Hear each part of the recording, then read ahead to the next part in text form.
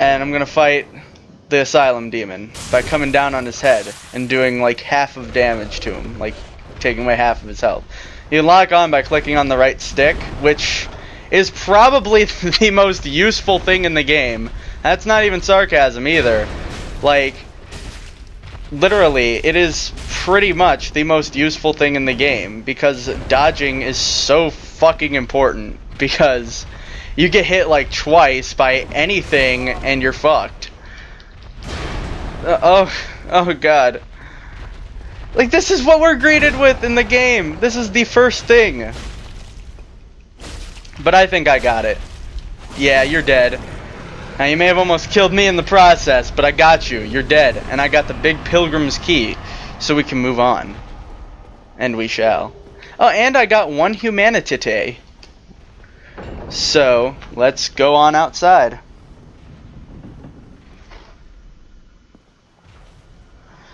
Um, so here we are in the outside. And seems pretty empty out here. And I think it is. And it's snowy. Ooh, a cutscene. Only in the ancient legends it is stated that one day an undead shall be chosen.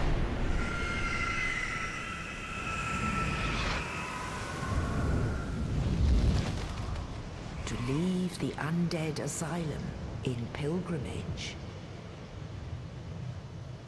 to the land of the ancient lords.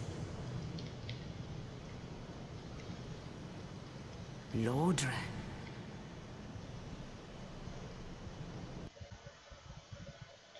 So, now that, uh, now we can actually, well, I was about to say we can get the action going now, but, uh, the action was already going from the start when we were introduced with a fucking asylum demon.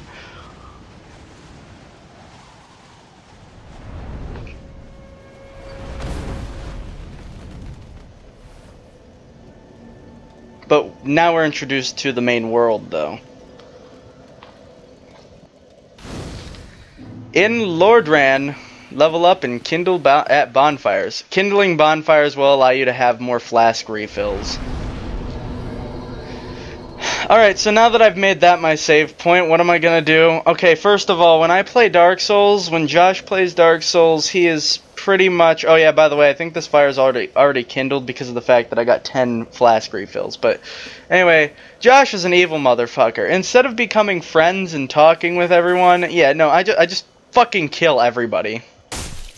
That's what I'm gonna do to this guy. I'm gonna kill him. Yeah, that's right. Come on. Come on dumbass. Bring it. I like how you're just gonna take it. Fine. Oh! Oh! Oh shit! Oh shit! And uh, take that, you bitch. That's right. I kill everybody because Josh is evil. I'm an evil undead black man. Bring it on. Now you can't hit me from there, so I'm just going to drink out of my flask now. And I'm going to parry your attack and attack you back. Now, unfortunately, this is kind of a long process, and I'm probably going to bore you guys while doing it, so...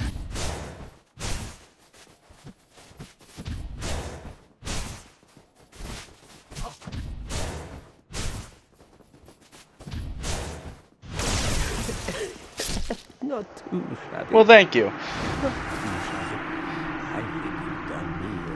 Oh, well, that's cool.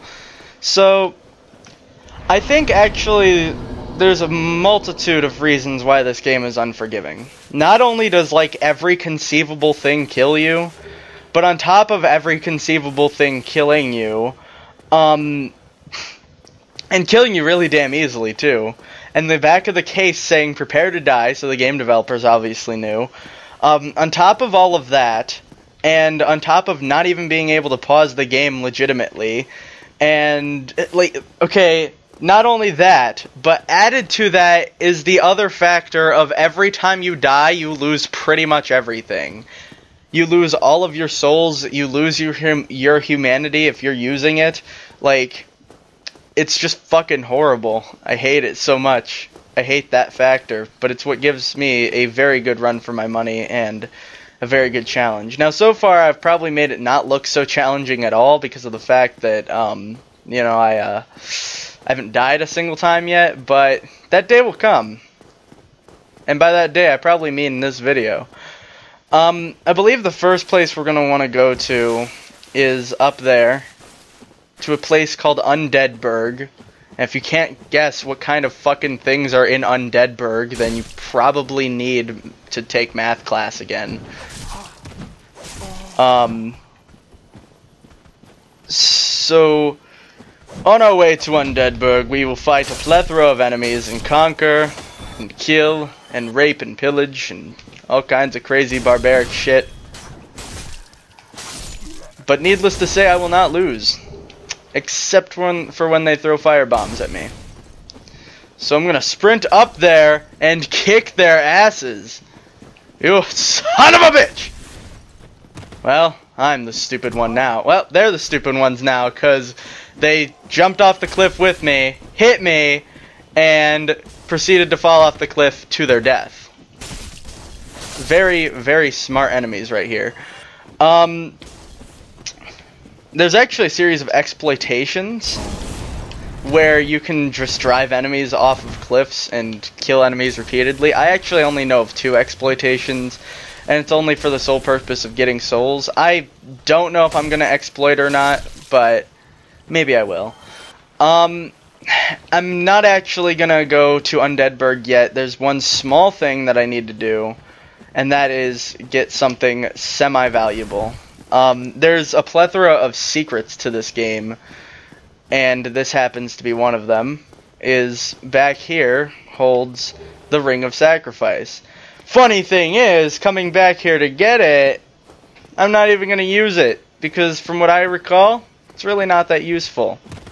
And if anything, only goes against me do do do do do gonna go to Undeadburg. That's a giant rat. Don't let it hit you, or you will be poisoned. Being poisoned really sucks.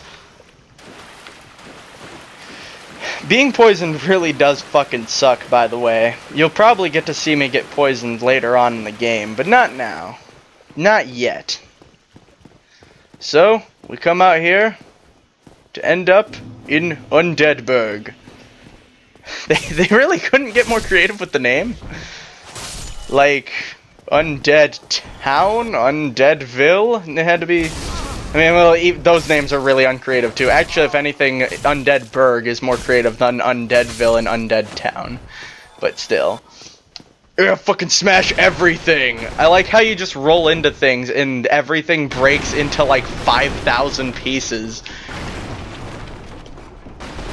Like, literally, I roll into shit. Like, look! Look at the mess I've fucking made here! Just from rolling into things. If I roll into things in my room in real life, that's not gonna happen. I'm probably just gonna bump my head and get fucking hurt.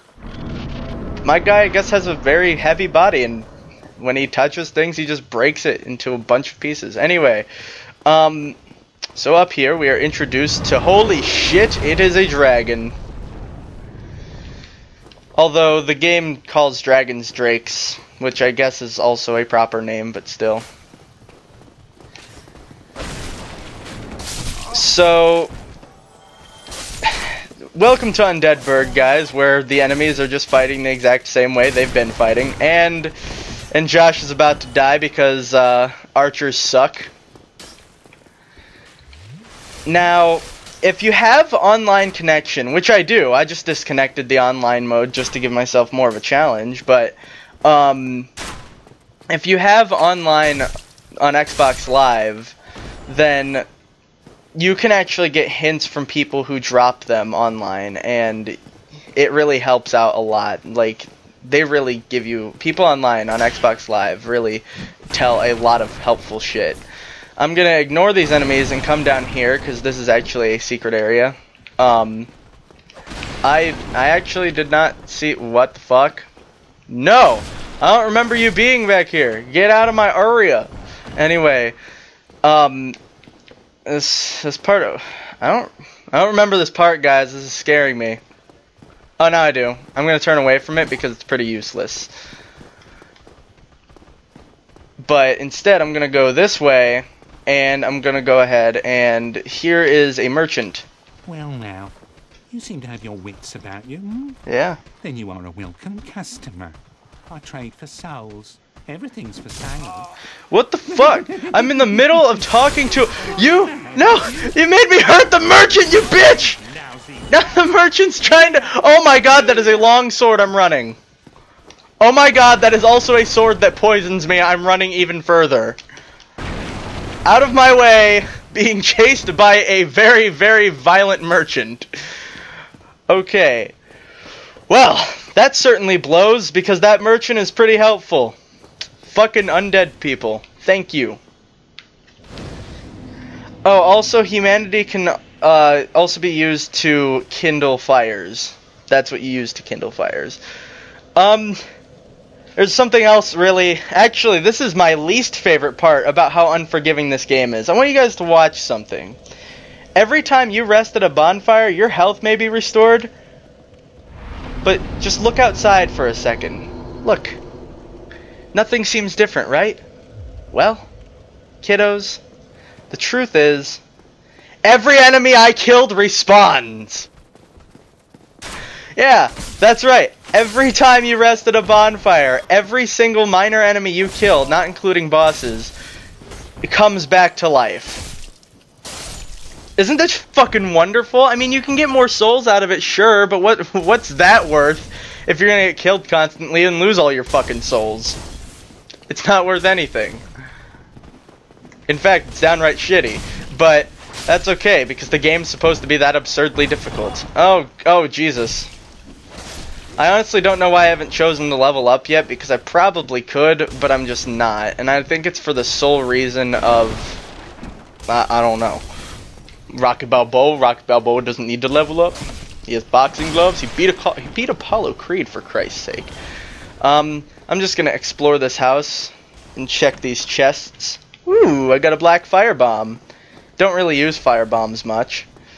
Um, I might actually want to level up sometime here soon, and you need to be at a bonfire to level up. And yeah, I, I could use it, but I would probably need to cut out until I get to the next point. Um, actually, I think I'm going to go forward and kill a few more enemies first. Because that's what's important. So right here we have these three enemies. One of them is a fire bomber and two of them are just regular undead people. As you can see, I do not like the fire bomber. I am running. Oh, Jesus, I'm happy I killed you. I'm happy I I'm I'm happy I'm running from you. That I don't know what else to say. Besides I'm unhappy you're alive. And there's fire bombers up there. And I'm to take a drink out of my flask. In fact, I'm just to sit at this bonfire and see if I can level up.